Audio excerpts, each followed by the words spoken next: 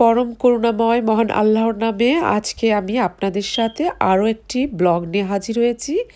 আসসালামু আলাইকুম। আপনাদের সবাইকে আমন্ত্রণ জানাচ্ছি আমার এই চ্যানেলটিতে, বিডি মামি ইডিওকে।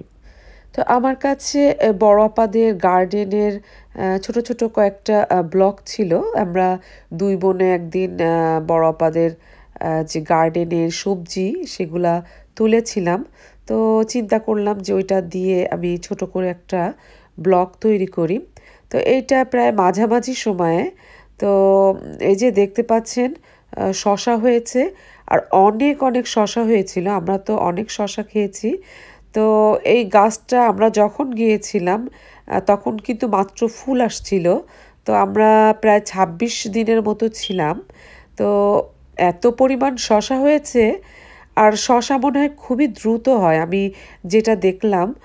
আর পাতার ফাঁকে ফাঁকে অনেক অনেক শশা হয়েছিল যে দেখতে পাচ্ছিলাম না এরকম। তো এই গাছটাতে মাসাল্লাহ অনেক শশা হয়েছিল। তো আমি আর আমার বড় বোন মিলে তুলে নিচ্ছিলাম। তারপরে এই যে একটা ব্লুবেরি একটা গাছ, তো এটাও বেশ মজার এই ফ্রুটসটা তো ওইগুলো একটু ছেড়ে নিচ্ছি। আর যেহেতু এই ছোটো ছোটো ব্লগগুলো ছিল, তো ভাবলাম যে একটা ছোট ব্লগ আকারে রেখে দিই, স্মৃতি হিসাবে থাকবে। তো জানি না আপনাদের কেমন লাগবে। তো আমার কাছে কিন্তু অনেক ভালো লাগছে যে আমার বড় বোন এবং আমি দুজনে মিলে বাগানের ফল ছিটছি। তো, পুরাতন কথাটা যেটা বলি, সেটা বলি আপনাদের যদি ভালো লাগে আমার এই চ্যানেলটি সাবস্ক্রাইব করবেন এবং পাশে থাকা যে বেল আইকনটি আছে সেটা অন করে দেবেন আর একটা লাইক দিয়ে দিবেন। এই গার্ডেনে মোটামুটি অনেক কিছুই ছিল, ছোট্ট আকারে হলেও বেশ অনেক টমেটো গাছ ছিল, মরিচ এগুলো আমি প্রথম দিকে দেখিয়েছি আর ফলনও হয়েছিল কিন্তু প্রচুর। আর লাস্টের দিকে আসলে আলসেমির কারণে পুরো গার্ডেনের ভিডিও করা হয়নি। বেশ অনেকগুলো লাউ হয়েছিল। আর এই যে বিকালের দিকে নর্মালি সবসময় পানি দেওয়া হয়, তো ওই দিন আমার ছেলে, ও বলছিল যে আমি পানি দিব।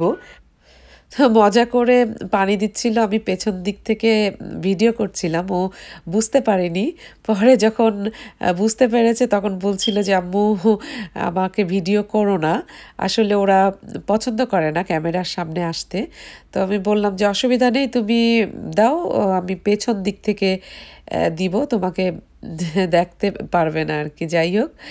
তো এই যে এই যে, কিন্তু ছোট্ট একটা শশা গাছ, কিন্তু এত এত শশা হয়েছে তা বলার বাইরে।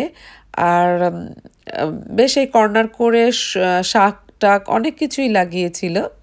মোটামুটি ফলন হয়েছে। কুমড়ো গাছে কুমড়ো হয়েছিল জুক্কা যেটা, জুক্কিনি, ওইটা তো আমরা খেয়েছি দুই, তিনটা। লাস্টের দিকে লাউও ধরেছিল। কিন্তু আসলে আমি লাস্টের দিকে আর আলসেমি করে সব মানে ভিডিও তোলা হয়নি। আর আসলে অনেক ভিডিওই ছিল, করা হয়নি যে রান্নার অনেক কিছুই ছিল। কারণ গল্প এইসব করতে, করতেই সময় চলে গেছে। তো আজকের এই ছোট ছোট ব্লগ নিয়ে আমি ভাবলাম যে একটু রেখে দিই। এই তো আমরা এই যে ঘরে নিয়ে আসছি এরকম দুই তিনটা স্ট্রবেরি শসা, টমেটো। এর পরের দিন সম্ভবত আমরা কোথাও বাইরে বেরো মানে বেরোনোর কথা ছিল, যে কারণে আপা রাতের আবার যে বিরিয়ানির প্রস্তুতি নিচ্ছিল। তো আমি অল্পই ভিডিও করেছিলাম। তো জানি না আজকে আপনাদের কেমন লেগেছে, ভালো লাগলে অবশ্যই একটা লাইক দিবেন। তো আজকে এই পর্যন্তই। সবাই ভালো থাকবেন। আল্লাহ হাফেজ।